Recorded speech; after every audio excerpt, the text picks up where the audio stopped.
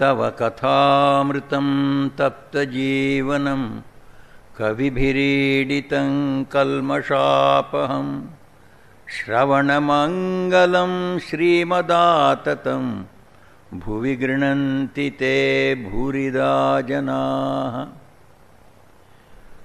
Today is the birthday of Swami Trigunaatitananda ji, otherwise called Sharda Prasanna Maharaj. Sharda Prasanna Maharaj, he was born on 30th January 1865. That means he was younger to Swami Vivekananda by more than two years. His father was Shiva Krishna Mitra and he was born in a village in Bengal called Noida or Navora. So he was born due to the prayers of his parents to Durga. Durga is called in West Bengal as Sharada because her puja comes in Sharat time. Sharat time is the winter time in October. So Durga Puja comes in October. So he, she is called the Sharadiya Durga or she is called Sharada.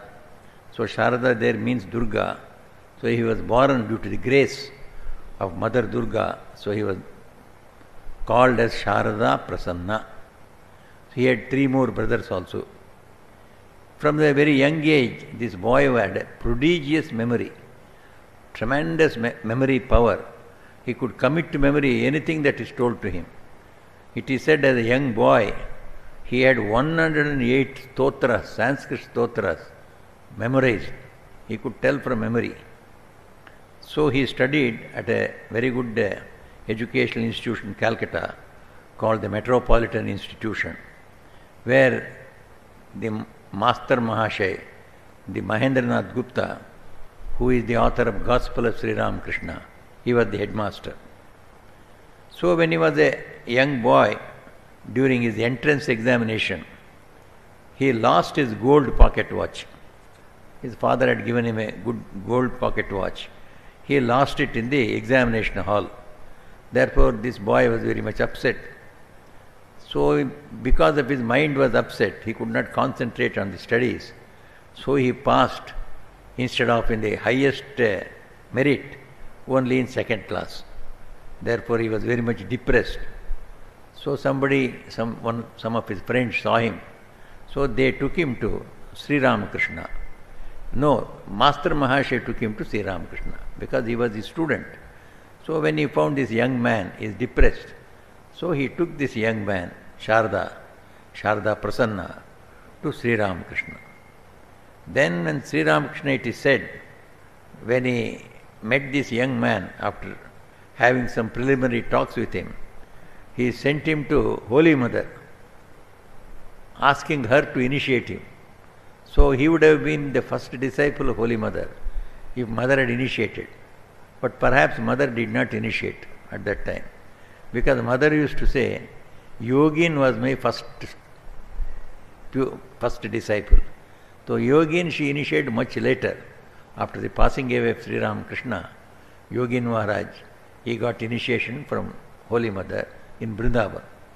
Therefore, though Sri Ramakrishna sent this Sharda Prasanna to Sharda Devi, he did not get initiation from her. He was later on initiated by Sri Ramakrishna himself. Then Sri Ramakrishna noticed in this young man a sort of a pride of his uh, ancestry. He was born in a very rich family, so having a number of uh, attendants to attend upon the children. So he never used to do any household work. Even the work concerning himself, of washing his clothes, or uh, small things about cleaning his room, even that, you know, there were servants to do. He would not do any work at all. So he was brought up in a milieu like that. So when he came to Sri Ramakrishna also, he would not uh, serve him. He would be just standing there or sitting in front of him and hearing his teaching. So Sri Ramakrishna noticed this. So this is not the spiritual man's way. Spiritual man must be humbler than the humblest. Trinadiva Nicha. So he should consider himself lower than the blade of grass. then only one can become a spiritual seeker. So Sri Ramakrishna wanted to teach him humility. So Sri Ramakrishna once told, when so many people were there in his room, he asked Sharda Prasanna, Go on, get a pitcher of water and wash my feet. So Sharda Prasanna was taken aback. I have never done any service even to my father and mother, and this uh, priest of this temple is asking me to bring water and wash his feet. What shall I do? But then Sri Ramakrishna's words, nobody can disobey. So it had its own effect. He felt, no, it is good that I bring pitcher of water and wash his feet. So he went, took a, took a pitch, empty pitcher, go to Ganga, and then brought a pitcher of water, then poured it on the feet of Sri Ramakrishna. As he was pouring the water on Sri Ramakrishna's feet, he found all his ego was disappearing. That was the grace of Sri Ramakrishna. So all his ego went away, along with the dirt on the feet, the dust on the feet of Sri Ramakrishna. His ego also went away. Sri Ramakrishna always used to call ego as dirt. So when the dirt was washed, so his ego itself was washed away. So this, after then later on he got attracted by Sri Ramakrishna. Frequently he started visiting Dakshineshwar. And as his frequency of visits increased, his studies got neglected. He attended to Sri Ramakrishna when he became ill, when he was in Shyampukur and then later on in Kashipur. So Triguna, the Sharda Prasanna, went on attending to the needs of Sri Ramakrishna. So the father was in a fix how to wean this boy away from Sri Ramakrishna because he was neglecting his studies. Therefore, his father tried many, many tricks to wean him away, but Sarada could not be stopped. He would run away from home, and then once he said, Let us marry him off. Then his mind will come down to the worldly affairs. Then he will not go to Dakshineshwar, he will attend to his family. So they were secretly trying to arrange for the marriage.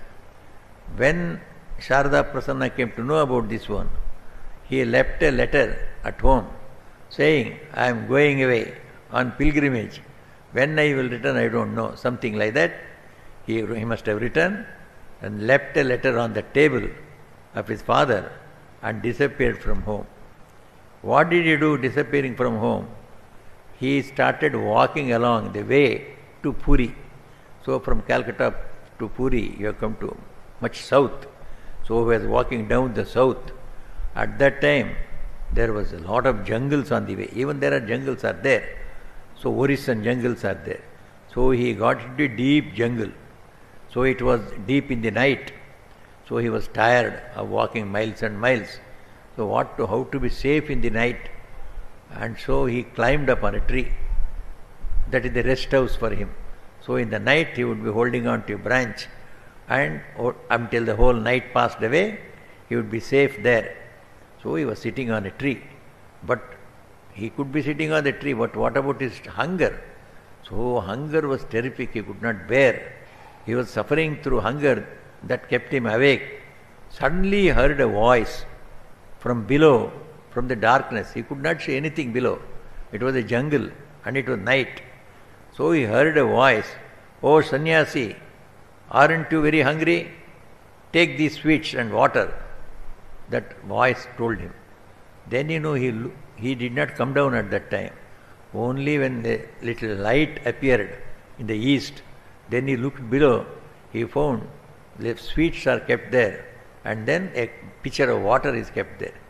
So he came down and ate those sweets and took water and became fresh.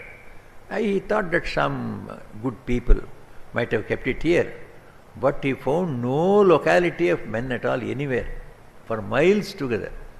How can anybody come and keep it in the night at 12 o'clock and go away if there was no locality at all anywhere near? So then he thought it is Guru Maharaj himself that, have, that has provided him with that food. Then when he was away like this, by the time he reached Puri like this, in the middle his parents somehow found out that he is going, he is going to Puri. So they traveled by the train to Puri. They were waiting for him to arrive.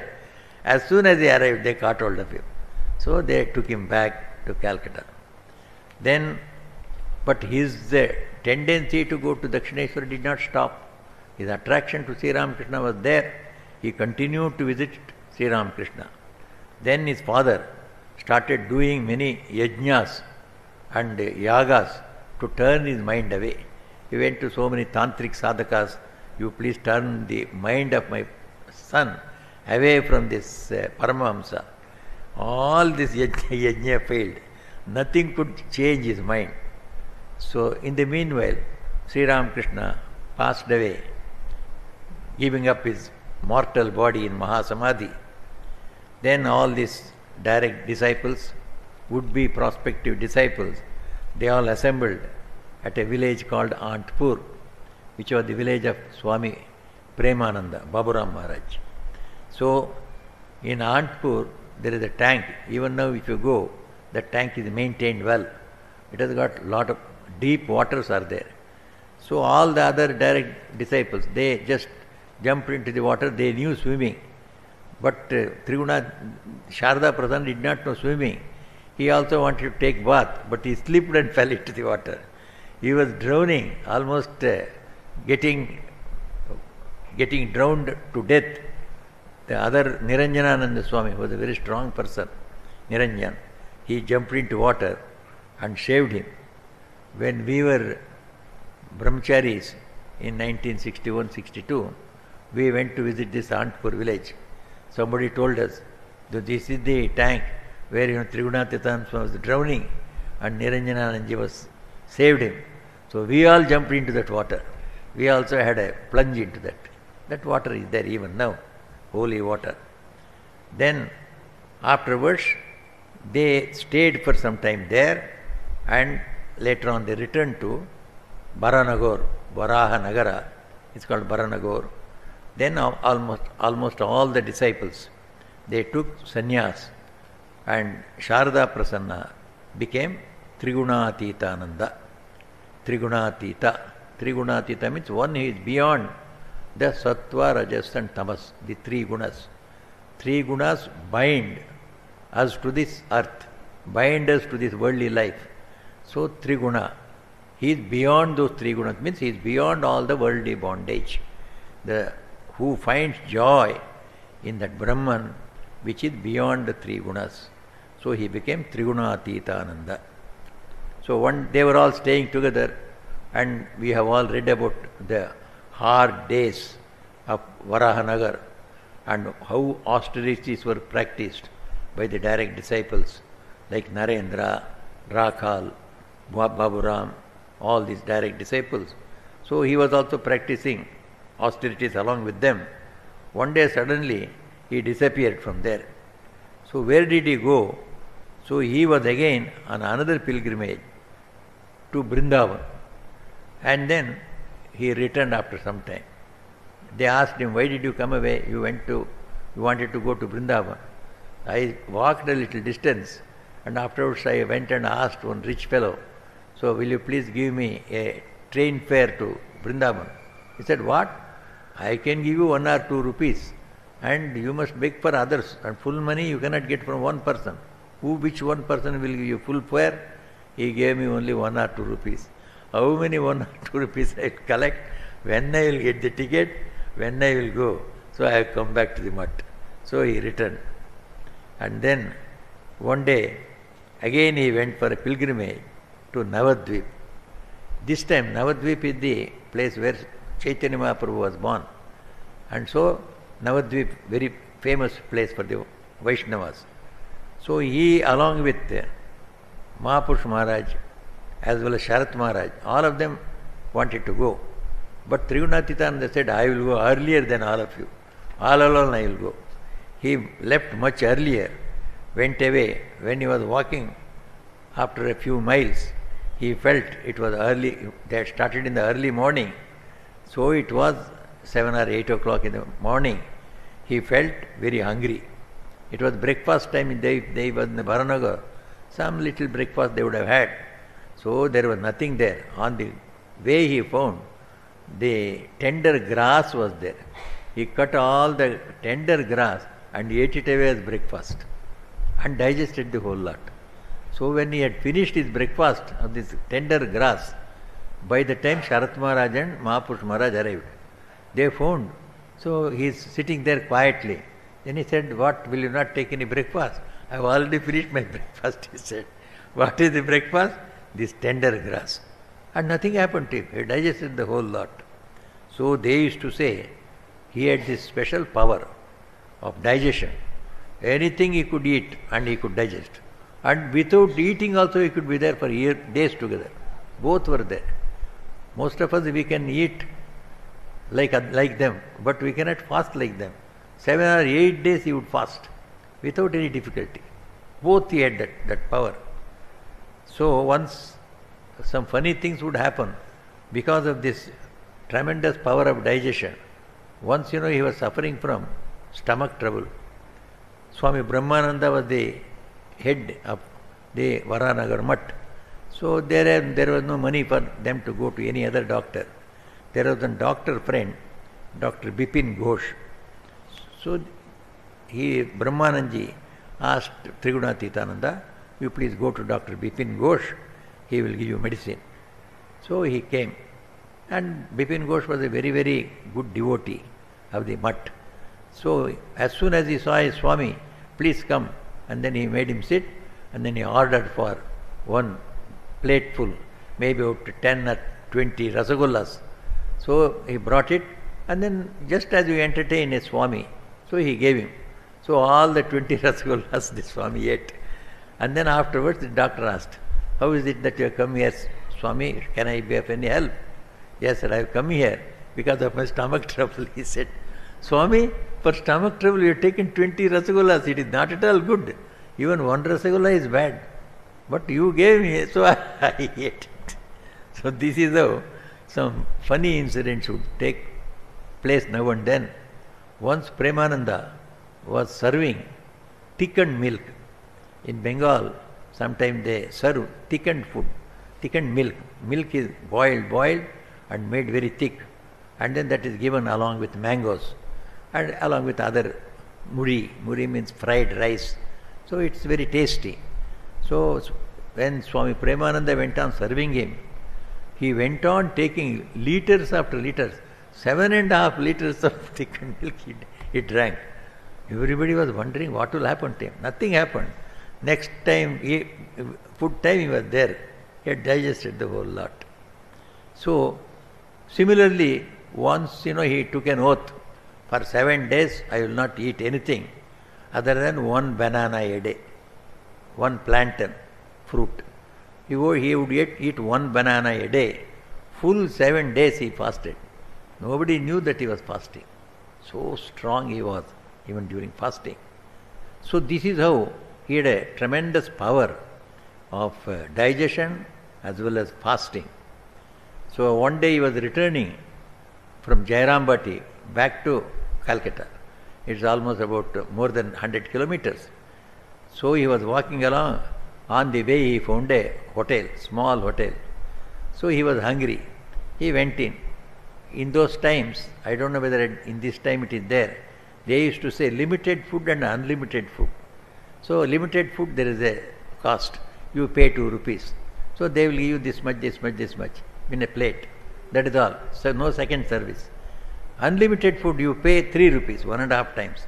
So, any, any anything you want, second time rice, second time sabji, second time curry, second time dal, you can ask. So, the Swami said, when he asked, what do you want? You want unlimited or limited? He said, unlimited food. So, you have to pay 3 rupees. Yes, I will pay. So, he sat there. Unlimited means whatever he asked, he should serve. He went on asking for food, rice and curry and dal. So when that is over, again another rice and curry and dal, another rice. All the rice and curry and dal that was prepared there for about 20 people or 25 people, everything he ate away. Then that's, that hotelier thought, if he goes on eating like that, all my granary would be end, ended. He seems to be having a special power. So he fell at his feet, sir, please, I don't, you don't pay these three rupees. You can please walk off. I don't want any money. Please relieve me from this uh, uh, commitment that I will give you unlimited food. So without paying anything, he started off and came away. So such incidents, very interesting incidents took place. He had a tremendous love for Holy Mother. Once Holy Mother was in uh, Calcutta, so she wanted, Holy Mother liked chilies. It is very strange. So chilies do not is not liked by most of the people, especially whom we call as saintly people. They don't like chilies at all. But Holy Mother liked the hottest chilies. So she used to like, if anybody brought hottest chili, he would say, that till chili is very good. She would uh, keep it and then take uh, and taste that with great uh, desire. So Trigunathitanaji want to give her the hottest chili. So he went on searching from one bazaar to another bazaar. So all the bazaars in one line, each place he would ask for a chili to be given. He will bite and then see whether it is hot. No, there may be hotter than this. He will go to the next shop. Went on tasting chilies. He must have tasted dozens of chilies. His whole tongue got swollen up. So much of hot things. Then at last he selected the hottest chili and brought to mother. And he told this story. Mother, I went to on half a dozen, one dozen shop, tasted everything, and la- at last I brought the hottest chili available in the market. Mother must have sco- scolded him. Why did you get your tongue injured like that? And perhaps for some days he could not eat anything because the tongue had got swollen, swollen up. So another one time, when he was uh, going along, the, he was, mother was returning from Vishnupur to Jairambati. On the way, there was a big pit on the road. There was a breach on the road. So it was night, and mother's bullock cart is coming, and mother is there sleeping inside. Then Trigunathitana Swami was walking in front. So where to, how to bridge this breach? And if the breach is not bridged or filled up, the vehicle cannot go. So mother's journey will stop. So she will not be able to reach Jairambat at the right time. So he told the bullock cart driver, I will go and lie down as a boulder inside this breach. So you will drive the cart over me. In those times, bullock carts had heavy iron wheels over them. So if the iron wheel they pass over this body after jumping over that uh, breach, it would have been dangerous. But he instructed that, and that fellow also agreed. All right, you want lie down, I will take the cart over it. Mothers come, somehow came to know. She was sleeping, she got up. Hey, what is happening? What is happening? Then she came to know that this is the thing that was going to happen. Though she called Trigunathitan, scolded him. What is this dangerous play you are playing? For my sake, why should you take such risk? We can wait for some time and somebody will come and put some uh, wooden things or whatever it is. We could have waited for some time. So that was his great devotion to mother. And he was very adventurous also, fearless, absolutely no fear. One day somebody told on his one of his uh, pilgrimages that there is a haunted house. There is a big devil or ghost in a house. Then he asked, Is it true? He said, Yes. A very terrific ghost. Nobody goes there. The, after evening, we never even turn that side. He said, No, I must, I must test whether there is that ghost is there. So he went and stayed in that house. All of them advised, No, no, it's a terrific ghost. So many people have got killed. Don't go. He said, No, I must test whether there is a ghost like this. So he went into that house. All those people, out of fear, as soon as the evening came, they ran away. He was alone left in that house. So he was sleeping there. It was night at 10 o'clock, 10.30, 11. Nothing was there. But suddenly at the midnight, he found a very big light coming. In the center of the light, there was the eye, a big eye, red eye, fierce looking. And that was the form of that ghost. As soon as he saw that burning eye, he was about to swoon. Suddenly Sri Ramakrishna appeared there, inside that room, and then took him by the hand. And next moment, he found himself under a tree outside. And Sri Ramakrishna was telling him, Why do you go and do all these experiments, whether there is a ghost or not? How does it help your spiritual life or anybody else's spiritual life? Whether there is a ghost in the house or not, it is not going to help anyone. Why do you waste your like that? Simply take my name and distribute my name to others. This is enough. You don't have to do all these experiments. So that is how he was saved and he got a good teaching also from Sri Ramakrishna. One day suddenly all the direct disciples had been instructed by Sri Ramakrishna himself. You see, I have done so many sadhanas. My sadhanas are almost like a dictionary, lexicon. Sri Ramakrishna used to say, I have done all the Vedanta sadhana, Tantra sadhana, Puranic sadhanas. I have seen all the gods and goddesses. I have also experienced Parabrahman in its, in its uh, indefinable uh, form.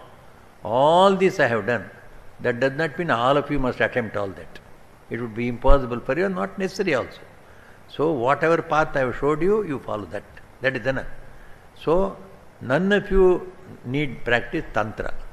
Sri Ramakrishna used to say, Tantra is a very difficult path. Therefore, I have, by the grace of Mother, I have mastered that, but none of you need practice it. So, Swamiji had got this uh, advice from Sri Ramakrishna himself. So, Sri Ramakrishna, uh, Swamiji had told all the direct disciples, none of us are fit for Tantra sadhana as Sri Ramakrishna did. He has himself asked us not to go for Tantra sadhana. It is not necessary. He has done it because it is like a dictionary. In dictionary, you must get all the words, whether they are good or bad. So in the dictionary, the bad words are there. That doesn't mean you must go, go, to, go and commit all the commit to memory all those bad words. Bad words. Then why is it in the dictionary? It is there because the words means all our words. So somebody wants to know what is this bad word. So let the research workers see that. You don't have to go and read those bad words. Just like that, this tantra is not for you. So Swamiji had advised everyone. But these are all independent, great souls, you see. They had their own independence. One day he thought, let me try what this Tantra sadhana is. Let me go to the cremation ground and spend the whole night in Tantra sadhana. One midnight, he started from Varanagar Mutt. He went out. So he was just getting out of the compound. Suddenly, Swami Brahmananji was sleeping inside. He got a dream.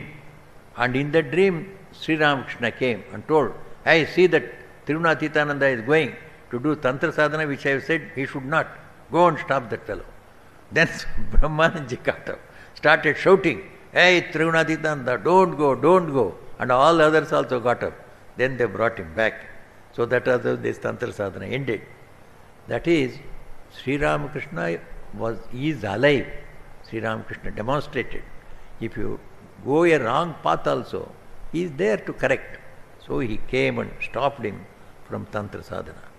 Another time, he got into a spiritual mood.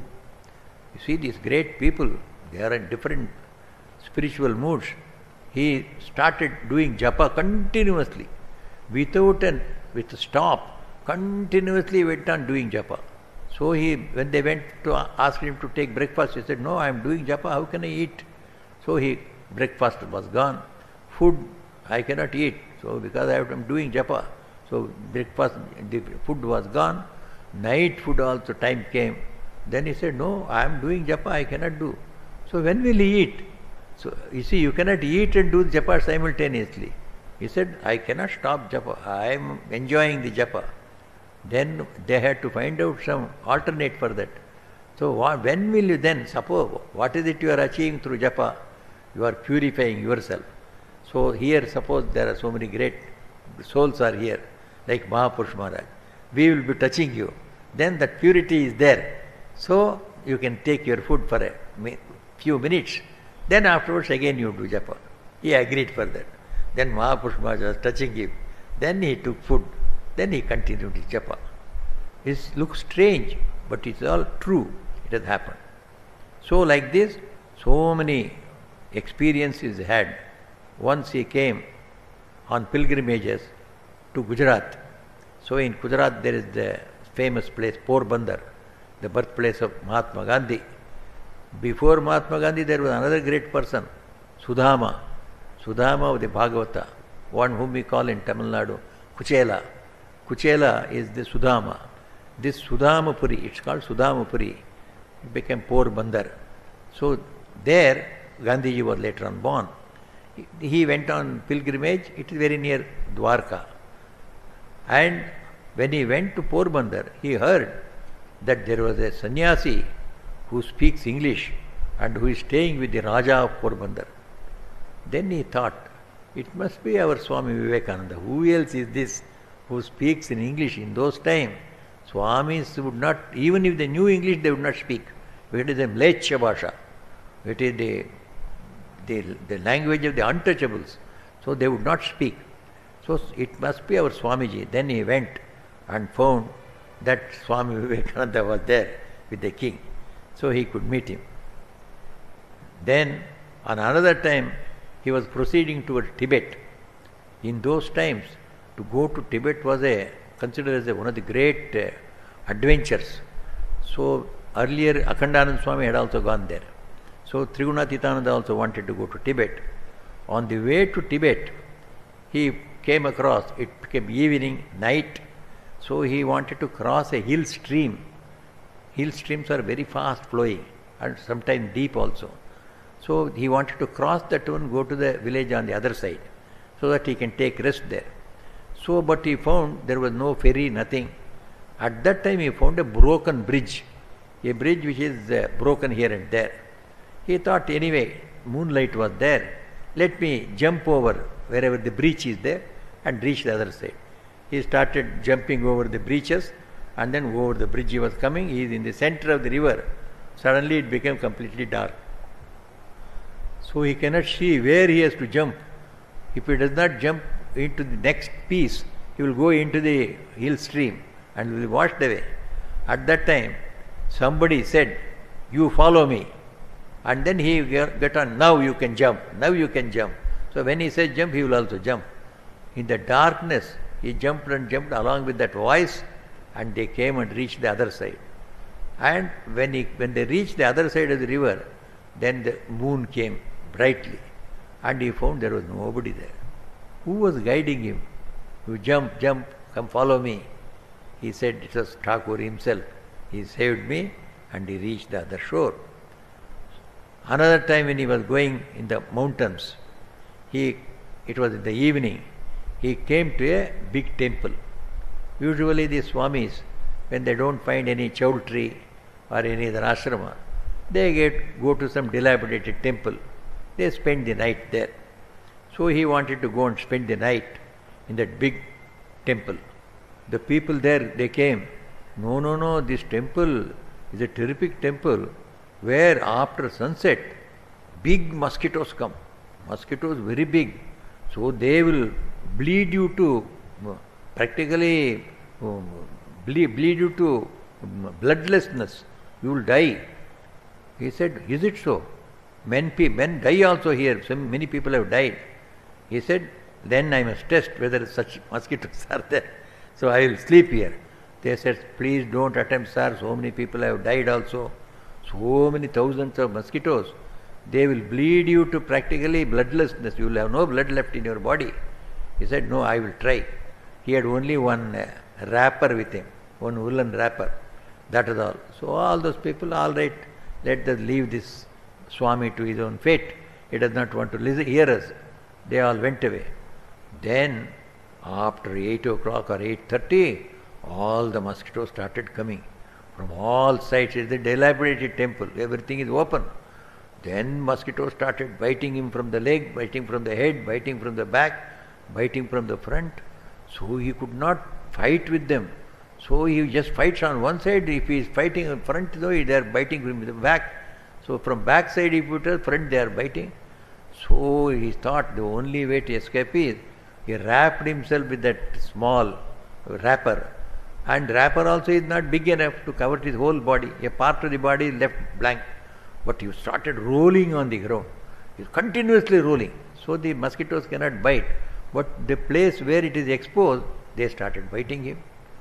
So by the time he was fighting with his mosquitoes whole night, it was early morning, then the mosquitoes left.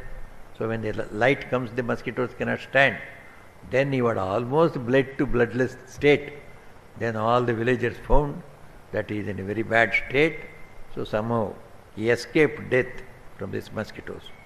But that adventurous spirit was there, that fearlessness to see if somebody says something, let me test and know. So after he returned from the Tibet, he wrote many articles also in the Bengali papers like Indian Mirror and all that. Then he came back to Varanagar Mutt. Then he used to start take take classes on Bhagavad Gita, Upanishad, etc. And then also he started in Calcutta. In those were the times when the British regime was there. Calcutta was the capital of India. So there a lot of uh, British influence was there, foreign influence was there. All the young people were giving up their old age old traditions of living a pure life. So he started three centers to train these young people in the old traditional way of brahmacharis. He called them brahmacharya centers. So a lot of young people used to come. He used to train them in meditation, in Gayatri, in physical exercises, yoga exercises, etc. So in the meanwhile, he had to undergo an operation of fistula. He said, You can operate, but I don't want any anesthesia. Without anesthesia, he underwent the half an hour operation. No reaction at all was there. That is the greatness of these people. And then in the 1897, Swami Vivekananda returned from the West. Swami Vivekananda had a great desire to start a monthly paper in every language in India. Swamiji was the first person who diagnosed the disease in India. All earlier to him, all the so many national leaders were there. From 1881 onwards, the Indian National Congress was working. And all of them, they were thinking that political freedom is enough. So we will fight for the political freedom. But Swamiji was the person said, political freedom is no freedom at all. If you don't have educational freedom, if you don't have cultural freedom, you must have proper culture, proper education. Then only you can keep up your freedom. Why did we lose our freedom? Because we did not teach our masses and women the real culture, real education. They were all just ignorant people. So when the foreigners invaded our lakhs and crores and crores of masses, they thought, what is the good of being under these fellows? Let us go under this foreign rule. There may be something new. We may get a little more education. They all left the country its own fate.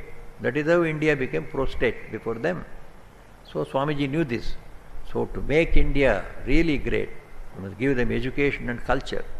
So that was what Swamiji, as soon as he came, he said, we want a journal in all the local languages.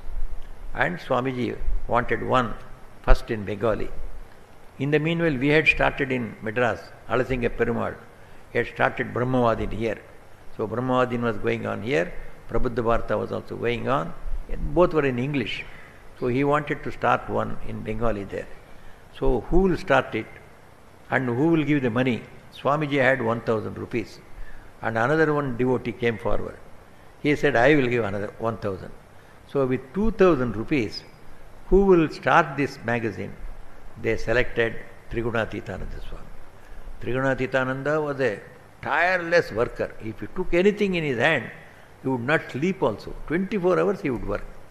So he started working at it and in 1899 the January first issue came out under his own editorship. He wrote the editorial, he collected all the articles, he read the proof, he started his own press with these 2000 rupees.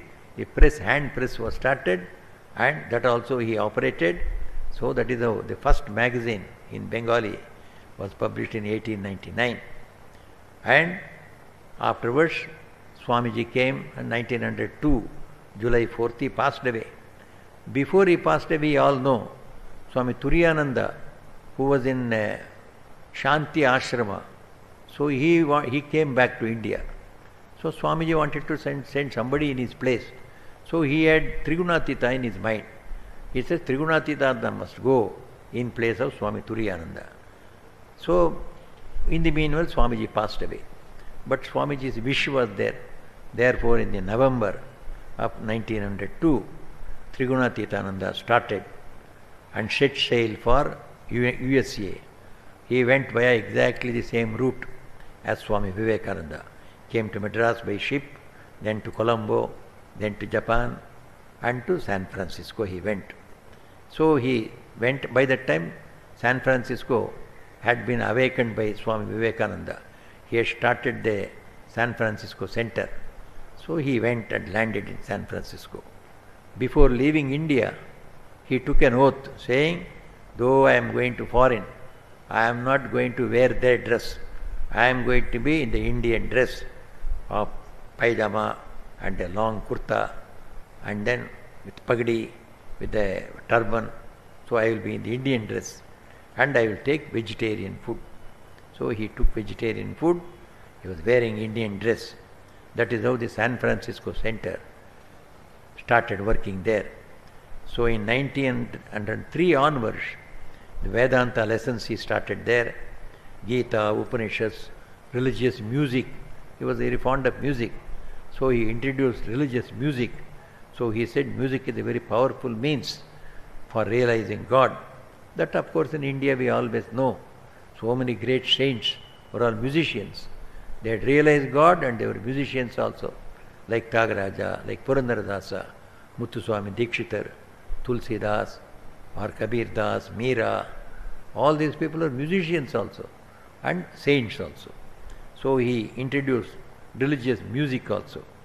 And then after one year, he was in San Francisco, 650 kilometers away, south of San Francisco, Hollywood. He, sent, he started a center in Hollywood also. And in 1906, just after four years of his landing in America, he erected the first Hindu temple in San Francisco. That is there even now. It is called the first Hindu temple in the Western world. So he is, and in that temple he has combined all the different sculptures of different uh, religious uh, motifs. Islamic motif is there, Christian motifs are there, and Hindu motifs are there. In the Hindu also the Vaishnava motifs, the North Indian, South Indian. So the five gambus are there, five uh, towers are there, each one of a different, a different architecture. In those times it was unthinkable. So at that time in that foreign land, he conceived of that sort of a harmony of cultures, indicating it is the temple of Sri Ramakrishna who harmonized different religions. Same, the same principle was adopted in our Belur Math temple. Swami Vivekananda gave the plan for Belur temple where different architectures have been harmonized. That was much later, but he he gave, uh, Swamiji gave that one much earlier. It was accomplished much later in India. But Trigunatitana Swami erected a temple, and then after erecting that temple, he stood before the temple and told, if this work is God's work, it's not my work, it will stand.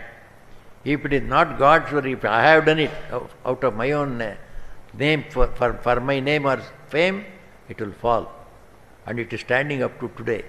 So, proving that it was God's work. So, that temple, and the wonder of it was just after some, some a few years, even when he was there, there was a terrific fire conflagration. All over, so many buildings were uh, burnt off. Whole thing went away. But that fire did not touch our temple at all. It did not touch. Just like the tsunami did not touch our Vivekananda Illam here. All the, uh, so many buildings on the opposite side of that road, they were all touched and then the buildings fell down. Then, whereas that tsunami wave, 18 feet high wave, it came right up to the gate of Vivekananda Illam and retreated. It did not touch that building at all. So how do you explain it? it because it is Swamiji's house, nobody can do anything to it. So the tsunami had to return. So it happened there also. Fire conflagration. it could not touch that. This is how he proved to the world that tremendous faith and sacrifice can make wonders. Next, he started. He started a monastery there in San Francisco, adjacent to the temple. So, so many American men and women, they used to come and stay there. But who will feed all of them? It is not India that somebody will come, come and give donation for running an ashrama. There, no ashrama, they don't believe in paying money without getting in something in return. So, these all these inmates, they would go in the morning and work in their own way. Somebody would work in the factory, somebody work in the college or a school or as a teacher, and then they would earn their own living. So instead of living in their house, they would live in this monastery. Whole in the evening and the early morning, they would have spiritual practices, and during the day, for the living, they would go and work outside. So that is how the first brahmacharya life in the ashram started, with a number of women, number of men, separate uh, uh, ashramas for them. He would tell them about Sri Ram Krishna, and while he would tell, tell the story of Sri Ram Krishna, he would himself go to ecstasy and he would, int- he would ask them to fast once in a week. Once in a week fast will keep you sattvic. So they all, he would follow him. They were all very earnest. So very earnest, so they would fast once in a week. And he would take them to meditation under the open sky. The whole several hours in the night they would meditate. He would also tell them different quotation. The quotations were both temporal and spiritual. He would, one of the, some quotations were like this: "Live like a hermit, but work like a horse." So you have to work hard. So li- living like a hermit means simply no meditation. You must work as well as meditate also. Do or die, but you will not die.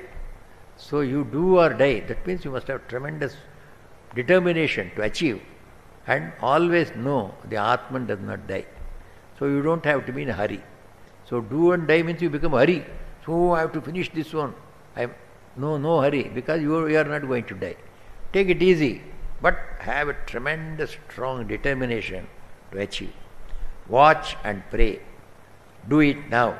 These are all some of the quotes he would go on telling. He would put right on the walls for the others to follow. And then he would train them. He would get up at 4 o'clock in the morning. He was the earliest to get up and went to bed at 1.30 in the night. He would go on working the whole day, either instructing the inmates or building up something for the ashrama. And he cooked himself so that, you know, the, all the brahmacharis and brahmacharinis would get pure food. So he would himself cook and serve them. And he would tell them, I will do everything ta- to take you to the immortal ocean of God. If necessary, I will break your bones also to do that. So he was very harsh and would demand discipline from them. Kept the brahmacharis always in good humor. So he would cut so many jokes with them, which Sri Ramakrishna used to tell them, and they would all be in high spirits. So there were ups and downs also in his life. So by 1913, he had almost come to the end of his short life. He passed away before he was 50. 49 and plus, he passes away. So 1914 he passes away, one year earlier. By 1913, both monastery and nunnery got closed for want of members. How many people have got, how long will they continue working outside and staying inside and taking all the disciplines, spiritual disciplines? Even today we may not be able to do it. So at that time, being Americans, they tried to follow. But after some time they all got tired, they left. So all the both monastery and the nunnery got closed, which was full of the American brahmacharis and brahmacharinis. In 1909, a young man known to, he knew printing press. And then this printing press work, when he was knowing, immediately Tu- start, st- thought that he should start a magazine in America. So he started a magazine called Voice of Freedom. That went on for one year. Afterwards, he must have left, so that magazine also stopped. Then he, trans- he translated Sri Ramakrishna's teachings and published the same thing through the Voice of Freedom. Then the Shanti Ashrama was there started by Swami Turiyanandaji. He wanted to restart that one. So he would take all the inmates of the ashrama there. So there he used to have right, right, quite a lot of spiritual practices. So he, that uh, place was in a place called San Antonio Valley. So in that valley there was a Lick Observatory. So near that one, 160 acres of land. So he would get up at 3:45 a.m. and there would be a tight program for all the inmates up to 10 p.m. from 3:45 a.m. to 10 p.m. And they would light the dhuni, that means fire, and sit in front of it and meditate. Then, like that, there will be one month retreat there. So he would he he just cut on the wooden plate or wooden uh, plank the name Om Ramakrishna. That was the flag. So on every room there would be Om Ramakrishna flag, wooden flag. And a master plan for Vedanta colony he drew up there. So there would be 200 acres of land nearby, and then he wanted to have orphanage, hospital, temple, etc. But that did not come up. In the meanwhile, he passed away very next year. So in 1915, there was an international exhibition nearby the, our San Francisco ashram. So he said, we ashrama, we cannot afford to go and have a pavilion in that international exhibition. They would charge thousands and thousands of dollars rent per day. So we cannot afford to give. What we can do is, it is not very far. We shall light our whole ashrama, our temple, our garden. We will put lot of lights. From there itself they will see. They will see our ashrama. They will become inquisitive. They will come and see our ashrama here. That is how he just illuminated the whole ashrama. And I think many must have come and seen from that expo our ashram. So this he he he called the food as pra- prasad offerings. He would not give the usual food for this American. They used to take meat, fish, eggs, etc. He stopped all that. You have to take sattvic food along with me. And himself he prepared that food. And monastics were to write to, were to write diary when they at what time did they get up, at what time do they go to bed. They would themselves write their diary. Now and then he would go and inspect their diary and give them proper advice.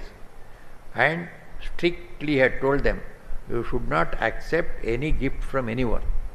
You are brahmacharis and brahmacharinis here. You should have the vrata of aparigraha. Aparigraha means non-acceptance of any gift. So because aparigraha is a great uh, yogic quality, in Yoga Shastra it is said, aparigrahastherye janma kathanta sambodha. A person who does not accept any gift from anyone, he will come to know what his previous births were, what is continued life, life after life, what, what he has been, he will come to know. Janma kathanta sambodha. How am I getting birth after birth? Why is it? All that information he will get if he keeps away from accepting any gift. Only live on what you earn, and that also in a simplest way. Never accept anything. This power will develop inside you. So he would insist you should not take any gift. Though, in, in spite of this one, one of his disciples who loved him very much, somebody gave him a nice jelly. Jelly is something like a gojju we had. So a tasty gojju was given. So he brought it, took it as a gift from him and brought it to the ashram. As soon as Trigunatitanda saw that, I asked you not to take any gift from anybody. Why did you bring this one? He did not distribute it to anybody. He sent it away to some poor quarters. Let those poor people eat. We will not take it. So one, uh, one Mr. Brown was there. He was the president of that uh, ashrama. This Brown we have met. He had come to Delhi when we were brahmacharis. So at that time, he used to tell, when Trigunatitana Swami used to go and give lecture in the hall the audience would not be there. On one side there would be Kali, Kali's temple. So Kali's big picture was there. And on the other side was the dais. People would be facing the dais. Behind them would be big picture of Kali. Whenever Trigunatitan Swami used to go and then stand on the platform, so when he faces the audience, he sees Kali in front. So he would become excited. His voice would tremble. So people thought that uh, he is artificially shaking his voice. So Brown said, I went and told him one day, Sir, you, you shake your voice, it looks very artificial. No, no, I don't shake my voice, that Kali shakes my voice. As soon as I stand there, I see Kali living. So I become excited. So that is how his lectures were living. And uh, this he, he smoked hubble bubble and cigars. That he used to do in uh, here also. But you know, some people criticized him. But he did not care for them. He went on.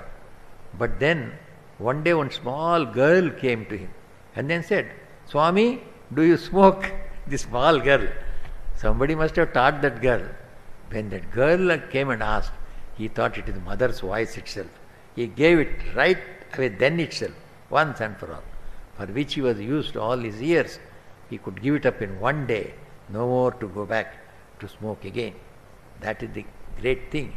How many people can do it? I have never seen a smoker giving up smoking without tremendous struggle. So here is one no, no. So he just gave it up. So, and he had his, own simple means. He had so many brahmacharis and brahmacharinis. So how to call all of them? He, was in the first floor, they are all in the ground floor. So only one calling bell was there. So he told, if I press only once, so it's so and so must come. If two times, then number two, another one will come. So he had eight signals like that, only with one calling bell. So people would as according to that one, he will press and they will run to him. So one uh, very devoted uh, uh, sannyasini lady, one Dhirananda, he had given her a name Dhirananda. She was a lady, French lady, and she suddenly passed away. So they, all the inmates, they used to make fun. She must have heard three rings from Trigunatitananda from heaven. That was her number. Three rings means Dhirananda. So from heaven he must have given that ring. So she immediately she passed away. They used to make fun of her. So he advocated interracial marriages in America in those times. In those times, he said that is the only way to bridge up the gulf between you Negroes and Americans. And he advised the Indians there also. Indians and Americans, they must have alliances so that you know this interracial any animosity and hatred should stop and there must be some harmony. He had noticed then itself. Now, now you can see a lot of racial problems are there. People in England, they don't want to go and settle down in America. When I asked about the, the people, our own Indians, NRIs in England, why don't you go to America? You can get much more money. It is good, Swami. We know we can get more money, but there is a racial hatred is there more. In England, it is not there. So, racial hatred is there, it is a problem. So, he had some solution at those times. He asked, Trigunatitananji used to ask his students to lecture, because lecture itself is a discipline that you should know how to lecture about good subjects, about Vedanta, about Sri Ramakrishna, etc. He made them stand up in the class and repeat 10 or 20 times Sanskrit words which they would take long time to master, but he would see that they utter the words very clearly. So this one day once he asked one of his uh, lady disciples, "You speak about Atman." She said, "Swami, I do not know that uh, whether I have an Atman." She said, "You don't have an Atman. You manufacture one. You people are very good in manufacturing things. You manufacture one if you don't have." So by varieties of ways, he would enthuse them to live the monastic life. And he was invited by the University of California, a famous university. Even today, University of California is a well-known university producing the greatest number of Nobel laureates. One of uh, students of California University is our Swami, who is in our Vivekananda College. So he is uh, Vidyanathananda. Vidyanathananda, he got the SS Bhatnagar prize this time recently, the highest award for a young scientist. He, he is from that university. He used to tell, Swami, 160 Nobel laureates are there from that one university. They are living all around. We used to interact with them. So more you interact with these Nobel laureates, it is very easy for us to get Nobel Prize. So you know everything about it. So that university, they were enacting in those times itself Kalidasa's Mrichakatikam, Kalidasa's dramas, and as a chief guest, for which once they had invited the President of America. Another time they invited our Swami. So he went and presided over that university function. So in the last five years, so he suffered from rheumatism, other ailments, and then he used to sell, tell, my body is broken, but I am holding it by my will because I have to do some more of mother's work. When that work is over, I am going to give up this body. And he did the same thing on the Christmas of 1914, on that day after when the lecture was over, on the next Sunday lecture, one of his own disciples, he had become little deranged in his mind. He brought a hand bomb and threw at the Swami. And then this person died, who threw, he died on the spot. And Swami was very seriously injured. And later on, he succumbed to that injury.